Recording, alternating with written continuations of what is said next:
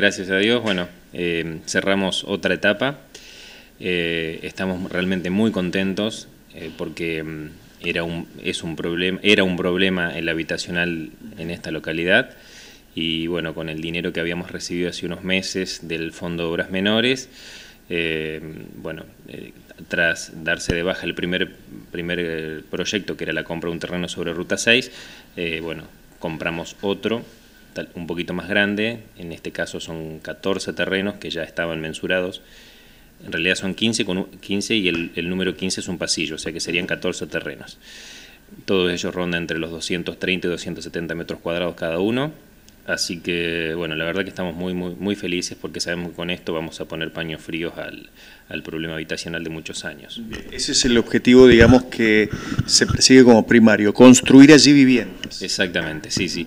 Hacia, en el año 95 se había construido un plan de 21 viviendas, después en el año 99, 2000, 2001 hubo un plan de 6 viviendas, en 2013 hubo uno de, de 8 mm, viviendas, y bueno, y tras el problema que teníamos en la localidad de no tener eh, terrenos comunales, bueno, nosotros apuntamos primeramente esto, que fue el camino más corto, si bien la administración anterior había presentado un proyecto de expropiación de un terreno pegado al pueblo, pero bueno, sabemos que la ley de expropiación demora, eh, los tiempos son eternos y bueno, nosotros los problemas los teníamos que resolver lo más rápido posible, así que bueno, creíamos que era la medida más rápida y efectiva y bueno, y así se dio. Pensaba, si las comunas no ceden los terrenos a la dirección de, de Hábitat o la Secretaría de Hábitat, no se hacen vivienda. No es que la Secretaría de Hábitat puede venir y decir, bueno, queremos hacer en tal o cual terreno este, y compra el terreno y construye la vivienda. Claro, nosotros en ese caso nosotros transferimos, tenemos que transferirle el terreno directamente a la Dirección Provincial de Vivienda.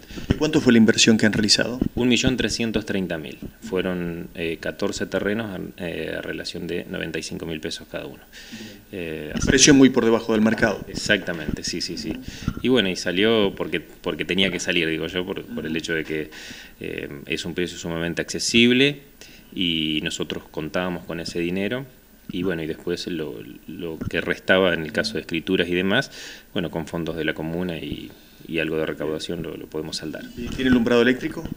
En una parte, lo que nosotros eh, ahora se hizo solamente fue la limpieza del terreno y tenemos que llevar la línea de energía, tenemos que llevar las cloacas y tenemos que llevar agua potable. Eh, lo bueno es que justo en, esa cuadra paralela sobre calle San Martín pasa el caño madre de cloacas, o sea que prácticamente estamos muy cerquita y bueno, y la línea de energía, lógicamente que con el paso de los meses lo vamos a ir diagramando con gente especializada como para poder eh, llevarla primeramente la, energía. Juan Pablo, ¿esto se compra con recursos genuinos de la comuna o tienen alguna ayuda especial? En el caso de los terrenos, no, de los terrenos era el Fondo de Obras Menores, ah, era un dinero que teníamos disponible nos restaban algo de año 2017, algo de 2018 y el resto de 2019, porque nosotros en 2019 se nos descuenta la cuota de equipar de la retro. Pensaba que es una buena noticia para todos los habitantes geslerinos, pero también me imagino para ustedes como autoridades del pueblo, porque se termina enriqueciendo el patrimonio comunal. No, sin lugar a dudas. Y más allá de eso es la satisfacción de, bueno, de, empezar a, de alguna manera a solucionar este problema el habitacional porque, porque bueno, hay mucha demanda. Cuando nosotros eh, hicimos eco de esta, de esta noticia, eh, no, no, no, menos de 20 y pico a 30 familias vinieron a consultar como para, para inscribirse, que le dijimos a todos, estos son los pasos previos, nosotros vamos a organizarnos el día que tengamos todo, todo ordenado y en regla, y bueno, y, dependemos de la Dirección Provincial de Vivienda como para, para empezar la construcción. ¿Tienen que tener el registro aquí en la comuna o hay un registro provincial donde la gente se anota? En realidad es online, hoy es online, bueno, después de diciembre veremos cómo son los manejos también de la provincia y bueno, pero bueno, el primer paso lo dimos, que es lo más importante, la adquisición del terreno.